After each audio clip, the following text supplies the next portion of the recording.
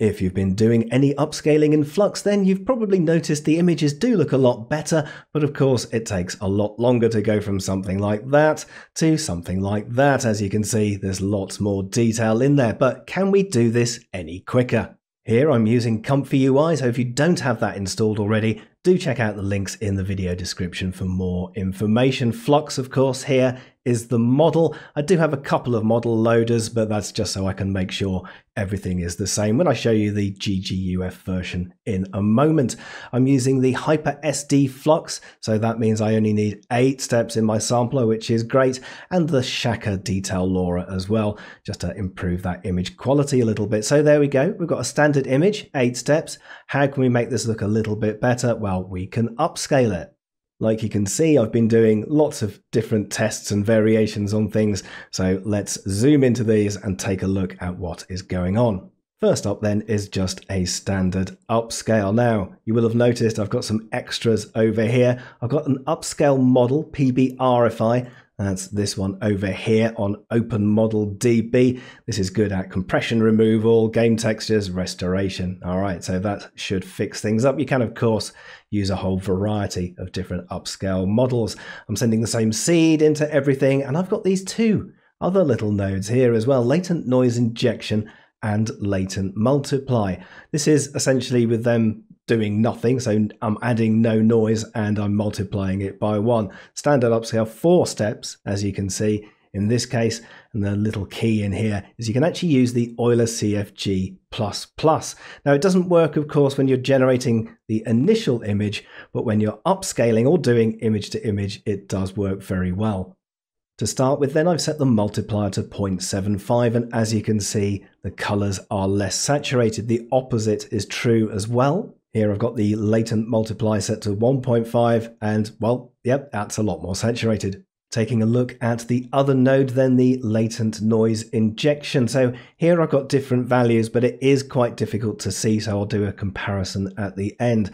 Okay, so there we've got 0.1. As mentioned, it's tricky to see the difference between that and 0.3 and 0.5. If you have a look at the armor, you should be able to see it's adding more detail in there. Okay, now here I've got the maximum amount of noise and I've also got a little latent decode so you can see what the image looks like. So that's the that's the image we're upscaling because we've added so much noise into it, but we've also toned down those colors as well. Now we've got absolutely tons of detail. How does that look in the comparison node? Okay, we'll zoom out a little bit so we can get the full thing.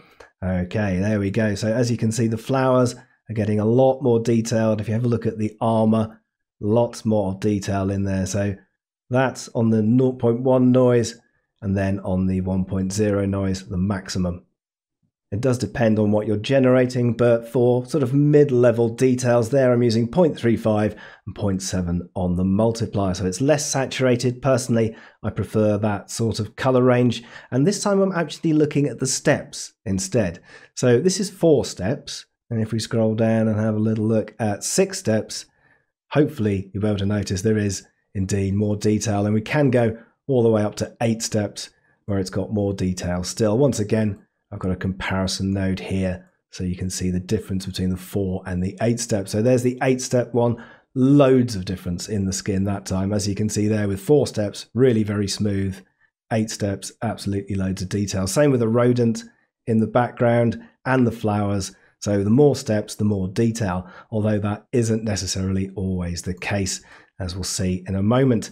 Uh, other things here, we've got another one here. This is a two times upscale. So with this one, the impact pack, you can do steps as well. So that goes 1.5 first and then up to two. So this is actually eight steps, four steps each time. Again, the reasonably low noise 0.35, 0.75 multiplier, and uh, I think that gives a pretty good image.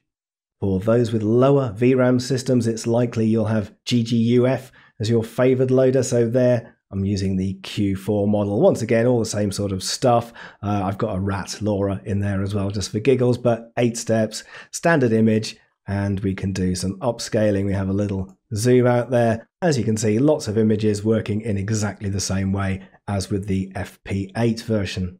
Here on the GGUF version, I was also doing a number of other tests to see, well, how low can it go? And uh, on two steps, uh, CFG 0.6, it's still actually not too bad. So that that's the standard one with the zero noise and one multiplier, uh, and it's it's actually not too bad on two steps.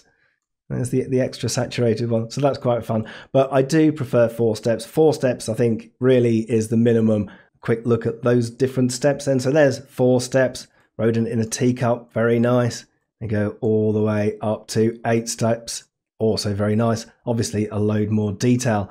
The other nice one, of course, is the two times upscale. And I can open that up in a new tab as well.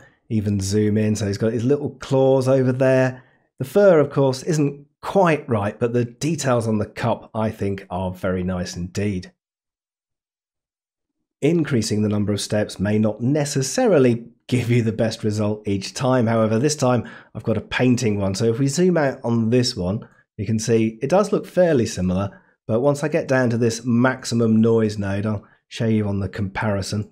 So here we can see the difference. Which one is which? Well, yes, that's the lower.